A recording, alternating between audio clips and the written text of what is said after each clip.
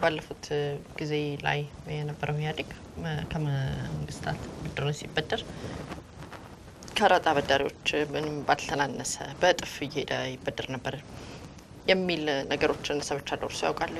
በትክክል የሚገርመው ነገር መንግስት ሲበደርበት የነበረው የብድር አካሄድ አደገኛ ነበሩ። ምሳሌ መውሰድ ይቻላል። ምድር ባቡር አለን፣ ቴሌ አለን። እነዚህ commercial loan መሆናቸው ብቻ ሳይሆን interest ኡ ምንድን ነው የኢትዮጵያ ኢኮኖሚ afford ማድረግ ከሚችለው በላይ ነው። ለምንድን ነው ያ ነገር የሆነው? መጥቶ የኢትዮጵያ ባቡር ላይ ወይ ደግሞ የኢትዮጵያ ምድር ባቡር ላይ ወይ ደግሞ የኢትዮጵያ ቴሌ ላይ invest እንዲያደርጉ መንግስት ሲጠይቅ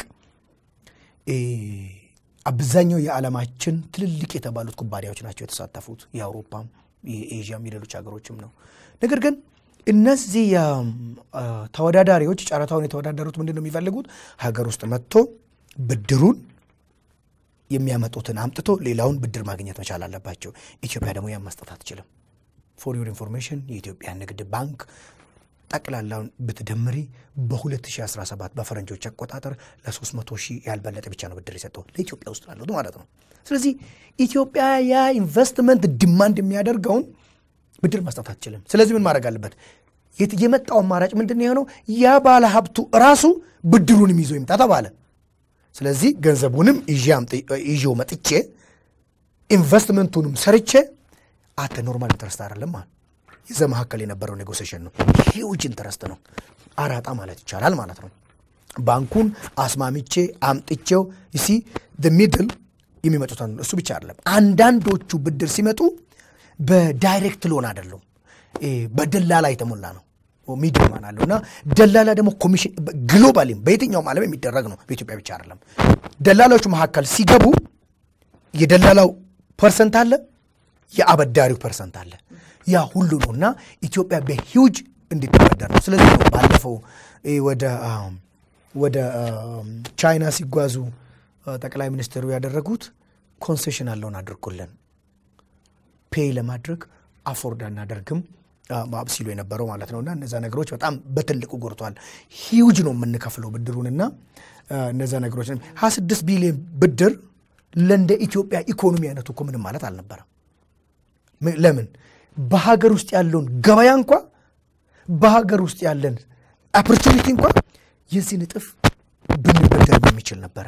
እሱ ብቻ አይደለም ኢትዮጵያ የተቀመጠችበት ቦታ ለሩቅ ምስራቅና ለአውሮፓ strategic location መሆኗ ለ international trade business አይደለም 26 ቢሊዮን ከየዚህ አይነት እጥፍ ብንበደርም feasible የሚሆንበት ሀገር ነበረ።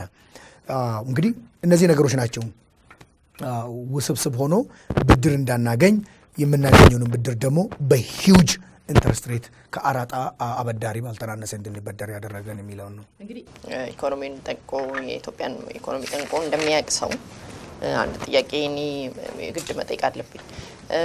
እነዚህ የብድር ነገሮች በኢትዮጵያ ውስጥ በፍጥነት መንግስት መበደር መበደር መበደር አዳዲስ ፕሮጀክቶች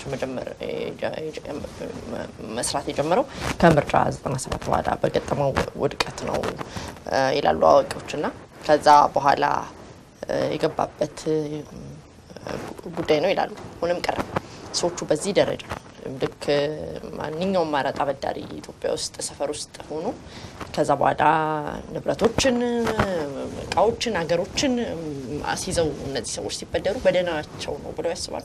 እንደውም አሁን ላይ ለሀገር እንዲሰርተን ስለሚሉ ነው። ለሀገር እንዲያርገን መንገድ አድርገን እንዲህ ብለን ለሀገር ሞተን ስለሚሉ ነው። ነገር ግን ደግሞ ውስጡን እንደሚያውቀው ሰው ደግሞ ኢትዮጵያ የገባችበት ኢኮኖሚ ቅርቃር ንብረቶቿን ሊያሸጣት የሚያደርስ የምትኮራባቸውን ነገሮች ወደ ገበያ እንድታወጣ የሚያደርስ ነው ይላሉ አዋቂዎች። እና እንደ ምጣኔ ሀብት አዋቂ ነው ጠይቆት። በነገራችን ላይ በጣም አደገኛ ለሀገር ይሄ system በዚህ ማህበራዊ እንቅስቃሴ መጥቶ ማሻሻያ ባይደረግ ኖሮ ለኢትዮጵያ በጣም አደገኛ ነበረ። የሚገርመው እኮ ይሄ ብድር ለስኳር ፋብሪካ ለኩራዝ ስኳር ፋብሪካ አንዱ የወሰድነው ብር ብሩ የት ነው ያለው የሚለው እኮ ነው። ለሀገር ነው የተበደርነው ወይስ ለራሴ ነው የተበደርነው? ምናልባት ተጨባጭ መረጃ ሊያስፈልግ ይችላል። ከነዚህ ብድር እኮ ትልቅ percentage እዚህ ሀገር ሳይገባ ነው ሌላ account ውስጥ የሚገባ። ሰዎች እንዴት ነው ዛሬ በውጭ ሀገር account አቸው ውስጥ ሁለት መቶ ሚሊዮን ሶስት ሚሊዮን ዶላር ያመጡት? ከየት አምጥቶ የት ነግዶ ምን ሰርቶ? in the first place አንድ ፖለቲከኛ አንድ የሀገር መሪ account ኡ ውስጥ እንዴት አስር ሺህ ብር ሊኖረው ይችላል? ደሞዙ ትንሽ ነው።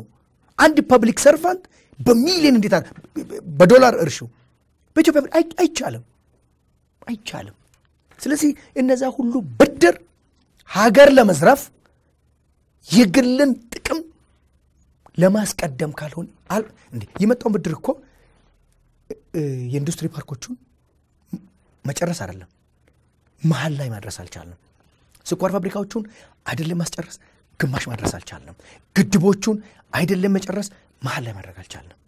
የአስፓልት መንገዶቹን፣ ሬልዌውን፣ የባቡር ሀዲዱን አየን እኮ። ይሄ ነው እንግዲህ የባቡር ሀዲድ የኢትዮጵያ የነበረው አመራር ለኢትዮጵያ ውለታ ዋልን የሚለው እንደዚህ አይነቱ የባቡር ሀዲድ ነው ማለት ነው። ስለዚህ በጤና ነው ማለት ያጠራጥራል ሳይሆን ለጤና አይደለም ነው መልሱ። ስለዚህ ይሄ ነው ዛሬ ላይ ኢትዮጵያን መስቀለኛ መንገድ ላይ ያደረገው። ሁለተኛ ደግሞ ይሄን የመጣውን crisis ይሄን debt burden ኡን አይደለም በሚቀጥለው ሁለት ሶስት ዓመት ረዥም ጉዞ ይፈልግብናል። እዳችንን ከፍለን ልማቱን ለማስቀጠል እንደው የኢትዮጵያ ሕዝብ እንደ ኢትዮጵያ ሕዝብ አይነት ባይሆን ኖሮ ሌላ ሀገር ብኖር ኖሮ የሚመጣው crisis Arab Spring ን ሄዶ ማየት ይቻላል። ኢትዮጵያ ሆኖ ነው ነገር immediately ወደ ሰላም ተመልሶ ምጣኔ ሀብቱንም በጠቅላይ ሚኒስትሩም ሆነ በሌሎች ርብርብ የተወሰነ survive እንዲያደርግ ማድረግ የተቻለው ኢትዮጵያ ስለሆነ ነው። መልካም እንግዲህ ባለፉት ጊዜዎች ስራዎችን ሰርተናል ይላል የቀደመው ኢህአዴግ። ስራዎችን ሰርተናል ማለቱ ያው መሰረተ ልማቱ አስፓልቱን ይመስለኛል። አስፓልቱን ቅድም እርስዎ ያነሱትን ባቡር ነው። ነገር ግን ኢንዱስትሪዎችን ገንብቶ ቢሆን ኖሮ ደግሞ ብለው አዋቂዎች ሲያነሱ እሰማለሁ። ኢንዱስትሪዎች ቢሆኑ ኖሮ ምናልባት የተገነቡት መሰረተ ልማቱም እንዳለ ሆኖ ኢንዱስትሪው ላይ በቀላሉ ገብተውበት ቢሆን ተሰርቶ ቢሆን ኖሮ የተሻለች ሀገር በተለይ የስራ አጡን ቁጥርና የኢኮኖሚውን ሁኔታ ሊመልሰው ይችል ነበረ። አልተመጣጠንም፣ balance አልሆነም። በነገራችን ላይ የነበረው ኢህአዴግ ይሁን አሁን ያለው ሁለቱም ኢህአዴግ ናቸው። ኢህአዴግ ምንም አልሰራም አይደለም። ኢህአዴግ ሌላው የአፍሪካ መንግስታት ከሰሩት በላይ ሰርቷል። ቅድም አንድ ነገር ለመጥቀስ ሞክሬያለሁ። የዛሬ 20 እና 30 ዓመት የነፍስ ወከፍ ገቢያችን ያለበትና አሁን ያለንበትን ነው። የግብርና ምርታችን የዛሬ 15 ዓመት በሄክታር አምስት አስር ኩንታል ነበር። ሰማንያ መቶ ማድረስ ተችሏል። የግብርና ምርቱን ማለት ነው። የመሰረተ ልማት አውታሮቹን የነበረበትን በፍጥነት አሳድገዋል። ነገር ግን ለምንድን ነው ለዚህ ሁሉ crisis የፈጠሩት? ከዚህ በላይ triple ማደግ ይቻል ነበረ። ለምሳሌ የኢትዮጵያ መንግስት የሚከተለው አሁን ያለውም regime ጨምሮ የሚከተለው ልማታዊ መንግስት የሚለው ነው። በልማታዊ መንግስት የሚመሩትን ሀገራትን ምሳሌ ወስደን የተመለከትን እንደሆነ በአምስትና በአስር ዓመት ምጣኔ ሀብታቸውን double ማድረግ ችለዋል። በእርግጥ የኢትዮጵያ መንግስትም efficiently በተጠቀመባቸው ጊዜያት ኢኮኖሚውን double አድርጓል። የሌሎቹን የምዕራቡን አይነት ምጣኔ ሀብት የተከተሉት ሀገራት ግን ምጣኔ ሀብታቸውን ደብል ለማድረግ ወይ 50 ወይ 60 ዓመት ነው የወሰደባቸው። በትክክልም እንደ ኢትዮጵያ ላሉት ሀገራት እንደ ኢትዮጵያ ላሉት ሀገራት ልማታዊ መንግስትን መከተል ጠቃሚ ነበረ። ግን ልማታዊ መንግስቱም ጦር አዛዡም የልማታዊ ተቋማት መንግስታዊ የልማት ተቋሞች መሪው አንድ አይነት ሲሆን conflict of interest ና የገበያ ስርዓቱ በትክክል ጨዋታውን እንዳይጫወት አድርገዋል። የሚያዘው የሚያቀርበውም አንዱ ነው ሲገኝ፣ ከውጭ ሀገር የሚያስመጣውም አንዱ ነው ሲገኝ ነው ያ ሁሉ የሚፈለገው ቦታ ለመድረስ የመጣ ነው። ይሄ አንድ ነው። ሁለተኛ በትክክል በነዚህ በአስፓልት በባቡር ሀዲድ ላይ ከሚሆን በ manufacturing sector ኡ ላይ ቢሆን ኖሮ ከዚህ የበለጠ ለውጥ ያመጣ ነበር ማለት ነው። አየሽ አስፓልት መስራት የስራ ዕድል የሚፈጥረው አስፓልቱ ተጀምሮ እስከሚያልቅ ጊዜ ብቻ ነው። የባቡርን ሀዲድ መስራት የስራ ዕድል፣ የግብአት ገበያ፣ market ትስስር የሚያጠናክረው ተጀምሮ እስከሚያልቅ ነው። manufacturing ፋብሪካ ግን ከተጀመረበት ልክ መሬት መቆፈር ከተጀመረበት ጊዜ ጀምሮ for an indefinite period of time as long as ፋብሪካው operational እስከሆነ ድረስ employment opportunity ን ገበያውን መፍጠርን ይችላል ነው። ስለዚህ ለምንድን ነው በአስፓልቱ ላይ በእነዚህ ነገሮች ላይ ብቻ invest ማድረግ hugely invest ማድረግ ያስፈለገ የሚለውን ነገር ስንመለከት አንደኛ እነዚህ እነማን ናቸው? ከእነዚህ መሰረተ ልማት መስራት ምንድን ነው የሚገኘው? አስፓልት እኮ ተሰርቶ ሲያልቅ አስፓልት ሆነ አስፓልት አልሆነ አንዴ ይለጠፋል። አየነው እኮ ከዚህ ተነስተሽ እስከ ቤኒሻንጉል ጉሙዝ ዋና ከተማ አሶሳ ድረስ ያለውን አስፓልት ብንመለከት አምስት ዓመት አላገለገለ። ፋብሪካ ግን መሸወድ መስረቅ ይቻላል።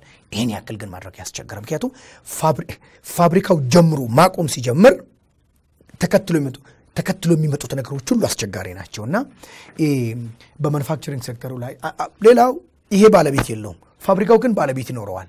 ባለሀብቱም አይለቅም።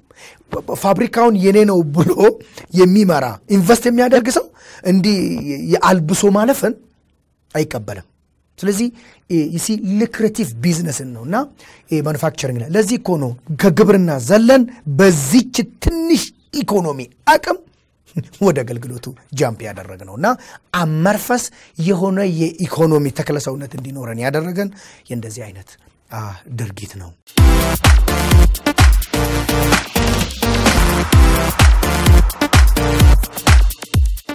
ህብረትን ከመንግስት ወደ ግል ለማሸጋገር ላይ ምን ሀሳብ አሉት? መንግስት እያነሳ ያለው ጉዳይ ስለሆነ በስተ መጨረሻችን እናድርገውና ይሄንን እንግዲህ አንዱ መንግስት ወስዳለሁ ብሎ በተለይ ምጣኔ ሀብቱን በዘላቂነት እድገቱን ለማስቀጠል አንዱ እንግዲህ የግሉን ክፍለ ኢኮኖሚ መስራት ነው ነው ኢህአዴግ የግሉን ክፍለ ኢኮኖሚ ማጠናከር፣ ማስፋፋት፣ ማበልጸግ አልቻለም። ቅድም ያልኩሽ ነው። ጥቂት ሰዎች interest group አገሪቷን ጠርንፏት ኢኮኖሚ system ኡን የያዙ ያ ምን ማለት ነው? የግሉ ክፍለ ኢኮኖሚ flourish እንዳያደርግ አድርጎታል ማለት ነው። ስለዚህ መወሰድ ያለበት አንዱ እርምጃ ምንድን ነው? privatization ነው። ግን privatize መደረግ አለበት። በተለይ በመንግስት እጅ ያሉት እነዚህ anchor የሆኑት አንኳር አንኳር የሆኑት እነዚህ ትልልቅ ተቋማት ግን ወደ ግሉ ክፍለ ኢኮኖሚ መዞር አለባቸው ሲባል ግን ብድግ አድርጎ ጨርቅ ይዞ ሄዶ ገበያ እንደሚሸጥ የሚሸጥ ከሆነ ኢትዮጵያን ከዚህ በበለጠ ልትመለስ ወደማትችል ነገር ሊከት ይችላል። በጣም ጥንቃቄ የተሞላበት ኢትዮጵያን የምጣኔ ሀብት ጥገኝነትን የፖለቲካ ጥገኝነትን በማያመጣ አካሄድ ነው ማምጣት ያለበትና ይሄ ነገር እንግዲህ የምዕራባውያኑ ከገቡ ፈላጭ ቆራጭ ነው እጃችን ለመጠምዘዝ እኮ በደንብ የሚጠቀሙበት ሁኔታ ነው። ለምሳሌ አየር መንገድን ቢሸጡ ሲጀመርም የኢትዮጵያ ኩራት ነው፣ ማንነት ነው። ቴሌም እንደዚሁ ሌሎችም ንብረቶችን ሲገዙና ወደ ግል ሲዘዋወር መንግስት ይዞት ከነበረው ሁኔታ እጁን በደንብ ለመጠምዘዝ አይመችም። exactly እሱ ነው እኔም እያልኩ ያለው ምንድን ነው ይሄን ወደ ግሉ ክፍለ ኢኮኖሚ ሲዞር በጣም ትልቅ ጥንቃቄ አንድ ዓለም አቀፋዊ ህጎችን በጣም መሰረት ያደረገ የሀገሪቷን ህልውና በተጠነቀቀ ነው። እንዴት ማድረግ ይቻላል? ለምሳሌ እነዚህን ባለሀብቶች ስንት ኢትዮጵያዊ ባለሀብት አለው ኢትዮጵያ ውስጥ እንዴት ቅድሚያ መስጠት ይቻላል? okay ኢትዮጵያ ውስጥ ያለው የኢትዮጵያን አየር መንገድ መግዛት የሚችል ይኖራል ወይ? ትንሽ የተወሰነች percent መግዛት ይችሉ ይሆናል። ከዛ በላይ ላይችሉ ይችላሉ። ትውልድ ኢትዮጵያውያን ይኖራሉ ወይ? ትውልድ ኢትዮጵያውያን በሌላ ሀገር ትልልቅ resource የምንሰማቸው ምናልባት በተጨባጭ መረጃ ማስረጃ ሊያስፈልግ ይችል ይሆናል እንጂ ትልልቅ ኢንቨስትመንት በተለያየ ዓለም ያላቸው ኢትዮጵያንስ ወይ ደግሞ ትውልድ ኢትዮጵያንስ ወይ ደግሞ ኢትዮጵያንስ affiliated የሆኑት አሉ። እንዴት አድርጎ ለእነዚህ ቅድሚያ መስጠት ይቻላል? ይሄ ነው መታሰብ። ሌላው መንግስት ይብዛም ይነስም እስከ ተወሰነ መጠን የአንበሳውን ድርሻ እንዴት አድርጎ ይዞ መቀጠል ይቻላል የሚለው ነው።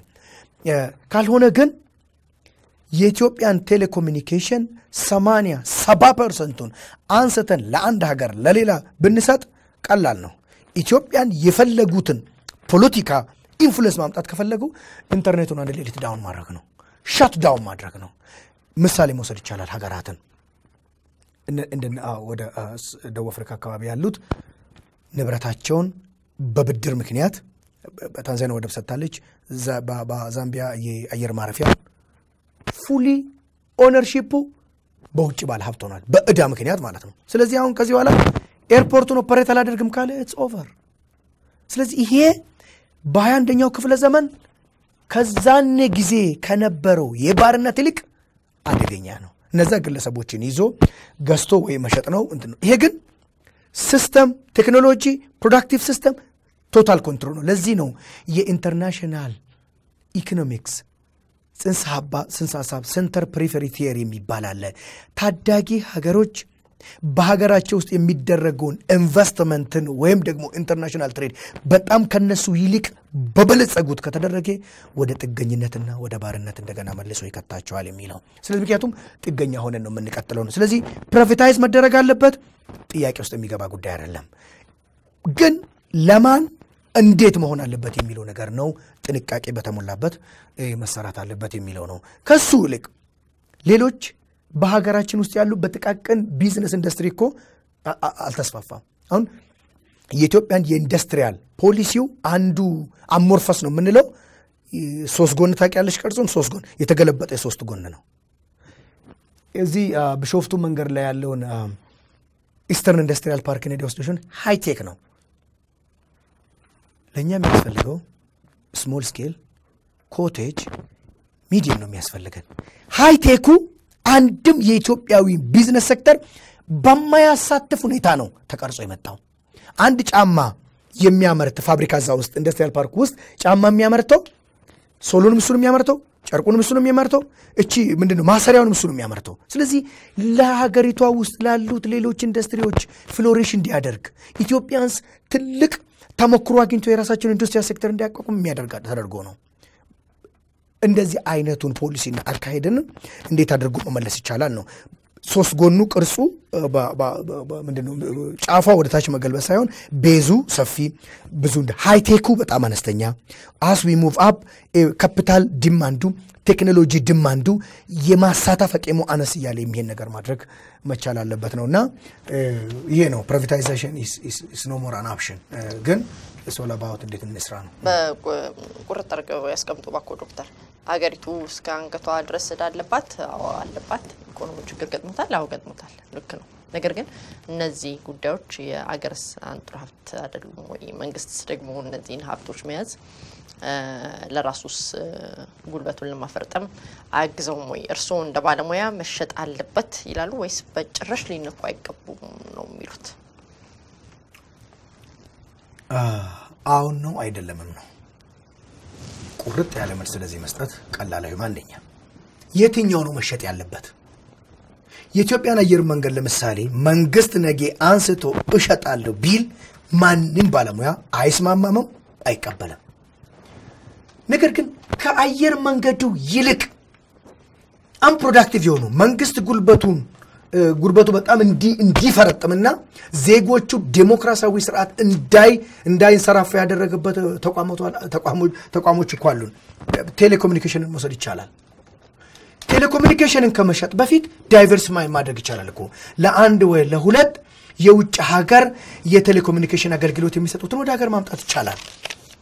አንደኛ የኢትዮጵያ መብራት ኃይልን ወስደን ወይ ደግሞ ይሄን የባቡር ሀዲዱን ወስደን እንደሆነ አንዲት ፉርጎ ብቻ እኮ ነው ሰው ተፋፍኖ አንዷ እስከምትመጣ waiting time መውሰድ ትችላለች። inefficient የሆኑ በመንግስት እጅ ያሉት ተቋሞችን ነው ቀስ በቀስ በተወሰነ percent ወደ ግሉ ክፍለ ኢኮኖሚ እየዞረ መሄድ ያለበት። at once ግን እነዚህን መሸጥ አደገኛ ነው።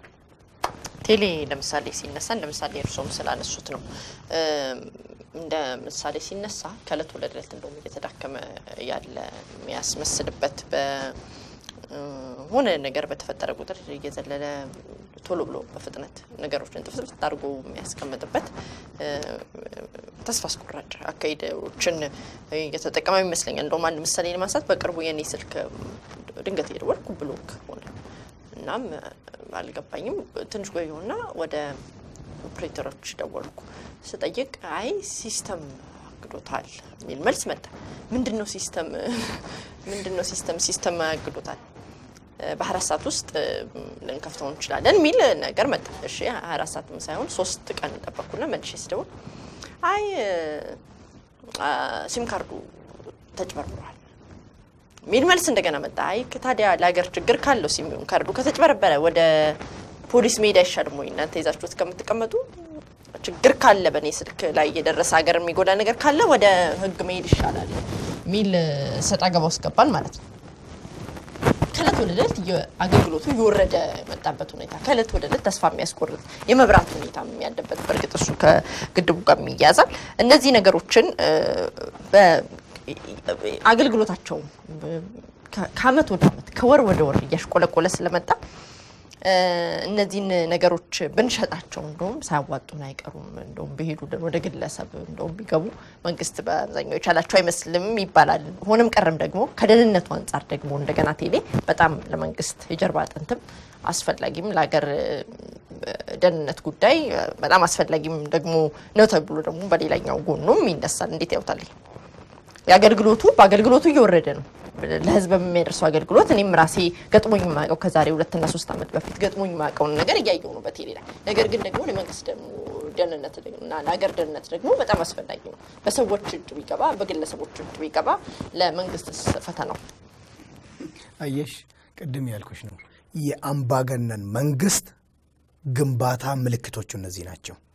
ለዚህ ነው እዚች ሀገር ላይ የነበረው አምባገነን መንግስት ብቻ ነው። አንድም ጊዜ ዴሞክራቲክ የሆነ መንግስት አልመጣም። አየሽ ካድሬ የንግድ ተቋምን ሲመራ ውጤቱ እንደዚህ ነው። ስልክ ዘጋብሻል ከፈለገ total shutdown across the country በጣም አደገኛ ነው። በጣም አደገኛ ነው። ምክንያቱም እኔ ግብረሰናይ ድርጅት ነው የምሰራው። ኢንተርኔት አስር ደቂቃ የለም ማለት total failed ማለት ነው ስራ ትልልቅ የ import export ንግድን ይሄ በስራቸውን ሁሉ online በ system mind you diplomatic corps አሉ እዚህ ሀገር ትልልቅ ዩኤን ኤጀንሲዎች አሉ። frustrating ነው። ስለዚህ ካድሬ የሚሰለጥንበት ልማታዊ ተቋም መጨረሻው ይሄ ነው። ለመንግስትም በቀጥታም በተዘዋዋሪም የካድሬን እጅ ከዚህ ሪሙቭ አድርጎ የምንላቸው ከዚህ አንጻር ነው። ይሄ የመንግስት ፖለቲከኛ እዛ ተቋም ድረስ መድረስ የለበትም። ይሄ በሙያ ነው የሚሰራው፣ በክህሎት ነው የሚሰራው፣ በ skill ነው የሚሰራው፣ በ training ነው የሚሰራው እንጂ ይሄ የራስን ፖለቲካ ከመቆጣጠር አንጻር የምንጠቀማቸው ተቋማት መሆን የለባቸውም ነው። ነገር ግን ይሄ የዶክተር አብይ መንግስት ችግር አይደለም። ትናንት ነው የተረከበው። አስቸጋሪ ነው። የስንት ዓመት ነው የምናወራው? በደርግ ጊዜ የነበረው ነው። ኢህአዴግ ወስዶ የጠረነፈውን ስርዓት ነው ይህን ሁሉ ነገር ያመጣውና ከዚህ ለማላቀቅ እኮ ነው። ከዚህ ትንሽ ፈታ ለማድረግ ሲሞከር እነዚህ ሁሉ crisis የሚከሰቱት። ስለዚህ ይህን ምን ማድረግ ይቻላል? ትክክል በሌላ ሀገር ልማታዊ መንግስት ካድሬ አይመራውም። ትልቅ የፖለቲከኛ ተቋሙን አይመራውም። ግን የልማት መንግስት ነው። ማን ነው የሚመራው? ባለሙያ ብቻ ነው የሚመራው። የሲንጋፖርን መውሰድ እንችላለን። የታይላንድን መውሰድ እንችላለን። የህንዶችን መውሰድ የ South Korea ዎችን መውሰድ እንችላለን። ትልልቅ የመንግስት ተቋሞችን ፖለቲከኞች አይደለም የሚመሩት፣ political interest ያላቸው ሰዎች አይመሩ። ምክንያቱም huge conflict of interest ነው የሚያመጣው። እኔው ራሴ ነጋዴ፣ እኔው ራሴ ሀገር አስተዳዳሪ የሚሆን ከሆነ ያስቸግራል። ግን እነማን ናቸው? በትልቅ በባለሙያ contract out ተደርገው ትልቅ ተከፍሏቸው ያለው skill ከዓለም ላይ ተፈልጎ እንደሚፈልጉት ነው ተክለ ሰውነቱን shape የሚያደርጉት። all of sudden ይህም መሸጥ immediate መፍትሄ ላመጣ ይችላል። በእርግጥ ባለፈው ሳምንት የተደረገው የሀገር ደህንነት ብዙ ጉዳዮች አሉ። ከዛ አንጻር ግን በእንደዚህ አይነት ነው ወይ ብቻ ነው የሀገር ደህንነት የሚጠበቀው የሚለው የሌሎች ሀገሮች ተሞክሮ ወስዶ መስራት ይቻላል። ይሄ ቴሌ ሁለትም ሶስትም ቢሆን የመንግስት እጅን ባይኖርበት መንግስት መቆጣጠር ያቅተዋል ማለት አይደለም። እያንዳንዱ system እንዴት እንደሚሄድ ደውሎ ስልክ ሲደወል መረጃ ልውውጡ ሲኖር ለሀገር ደህንነት የሚያሰጉ ነገሮችን ሁሉ መንግስት የሚከታተልበት የራሱ የሆነ security system አለው። ቴሌን በመዝጋት አይደለም secure የምንሆነው።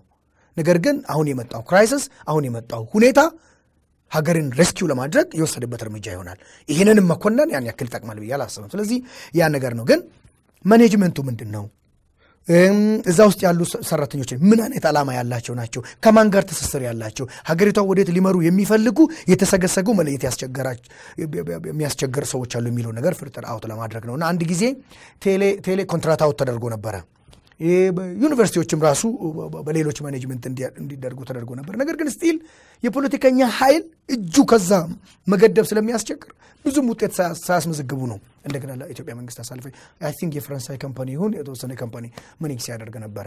ስለዚህ መሆን ያለበት ይሄ እንደዚህ አይነት ተቋም መጀመሪያ ለመሸጥ ከማሰብ በፊት እስቲ ለባለሙያ በ share perform ባደረገ ቁጥር profit ን ከመንግስት share የሚያደርግ ኢትዮጵያዊ እዚህ ሀገር company ፈጥሮ መስጠት ይቻላል። ያ ደግሞ በባለሙያ በትክክለኛ የምጣኔ ሀብት አካሄድ ግን ለሀገር መንግስት ደህንነት በማያሰጋ ሁኔታ ማድረግ ይቻላል። ያ ሲያቅተን probably ለውጭ ሀገር ባለ ሀብት የተወሰነ መሸጥ እንደ መፍትሄ ልንወስድ እንችል ይሆናል። ምናልባት መንግስት ሞክሬ ሊሆን ይችላል ሊለን ይችላል። እንዴት ነው የሞከረው? ለእነማን ነው የሞከረው? የሚሉትን ነገሮችን ማየት ይፈልጋልና እነዚህ የሀገር አለኝታ ብቻ ምልክት የሆኑትን ቴሌ ኢትዮጵያ አየር መንገድ በጣም ጥንቃቄ በተሞላበት ምክንያቱም እነዚህ ከባድ ናቸው። እነዚህ stuck ያደረጉ ቀን የሚመጣብንም crisis ቀላል አይሆንም። ነገር ግን የኢትዮጵያ አቅም ካቃተውስ በእንደዚህ መቀጠል እንችላለን ወይ? ኢትዮጵያዊ ባለ ሀብት ካልቻለውስ? ለኢትዮጵያዊ ባለሙያ የሚሆን contract out ተደርጎ establish ተደርጎ ትርፉን በጋራ ተብሎ ቢሰጠው ያም ካልተቻለስ መሸጡ አማራጭ የማይኖረው ነው። ቅድም እንዳልኩት ሽያጩ ላይ ምን አይነት ጥንቃቄ መከተል እንችላለን መከተል አለብን የሚለው ነገር ነው እና እነዚህ እነዚህ የሀገሪቷን መዋለ ሰብስቦ አንድ ቦታ ከቶ ያሉትም በእጁ ዙር እንዳይገዙትም መጠበቅ ሊያስፈልግ ይችላል። መልካም እኔ ጥያቄዎችን ጨርሻለሁ። ዶክተር እዚህ ድረስ ስለመጡ በጣም አድርጌ ያመሰግናለሁ። በድጋሚ የመጨረሻ ማስተላለፍ የሚፈልጉት ነገር ካለ እድሉን ሰጥታለሁ። መልካም እድል እመኝሎታል። አይ እኔም አመሰግናለሁ። እንግዲህ ኢትዮጵያ ምጣኔ ሀብት ጉዞ እድገቱን አውርተናል። ዛሬ ያለንበት ኑሮ ዛሬ ያለንበት የኢኮኖሚ system ኡ ትናንት የዛሬ ዓመት የዛሬ ሁለት ዓመት የተፈጠረ ሳይሆን ኢትዮጵያ ከጅማሬው የተፈጠረችበት አካሄድ እና አገዛዙም አሰራሩም ተሳትፎም የነበረበት ሂደት ውጤት ነው እና ይህን ደግሞ እያንዳንዱ ኢትዮጵያዊ በጋራ በመተባበር በመደጋገፍ በመያያዝ የሙያ contribution ሙያዊ እገዛ በማድረግ tolerate በማድረግ በመደጋገፍ የምንወጣው እንጂ አንዱ ሌላው ላይ ጣቱን በመቀሰር መቼም ቢሆን የምንወጣው ነገር አይሆንም። እና ስለዚህ እያንዳንዱ ያለበት የሚጠበቅበትን ውጤታማ በሆነ ከሰራ ኢትዮጵያ በጣም በምጣኔ ሀብት እድገት ትልቅ ተስፋና ትልቅ resource ያላት ሀገር ነች እና ስለዚህ ይህም ብቻ ማለት እፈልጋለሁ። እኔም ስለተሰጠኝ እድል አመሰግናለሁ። መልካም ይህ ፕሮግራሜን በዚህ ጨርሻለሁ። ሳምንት በሌላ ፕሮግራም በሌላ እንግዳ እስከምንገናኝ በያላችሁበት ተነስተልኝ